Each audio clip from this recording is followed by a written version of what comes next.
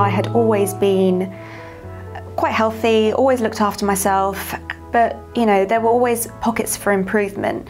Um, you know, I suffered from you know migraines or poor digestion, or you know my I don't know, even skin health wasn't consistent. I'm always striving to be better when it comes to being healthy. So I'm always reading and educating myself. So I actually spoke to a work colleague, a work friend, and sort of explained to her how interested I am in this kind of field and she actually recommended me to CNM because she has a nutritionist who um, qualified from there and said that you know she's brilliant she's obviously you know been trained really well have a look at the college and see you know if there's something that you can do to basically cement your passion and I just went on the website I read that short summary on what health coach is because at this stage it's still unknown generally um, and when I read what it was. I just thought, wow, that's me. And, and I just signed up there and then, uh, and the rest is history.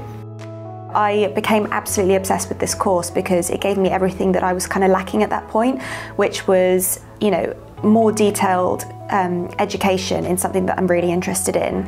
And the teaching there I thought was brilliant, even though it was online. I didn't meet anybody per se. You know, first module and the coaching uh, practical side of it all, it kind of opened my eyes to a completely different industry that I think is so needed um, by whether it be companies or you know one-on-one. I think everyone can benefit benefit from a health coach.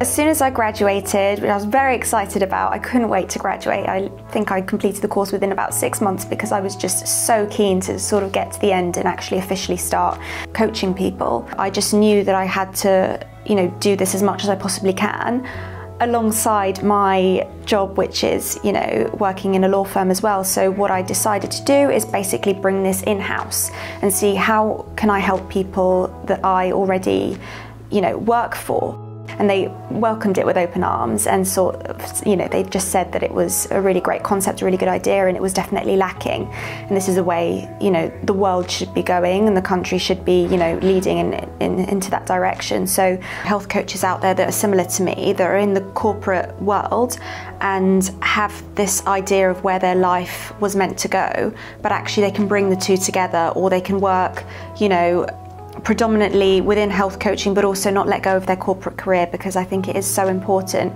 uh, to feel like yourself in whatever angle you take when, you know, going forward for, for the rest of your life. You know, people that go into health coaching, there is a connection there, but you know, a lot of people don't want to kind of dismiss their, their previous life and put it into, you know, quotes.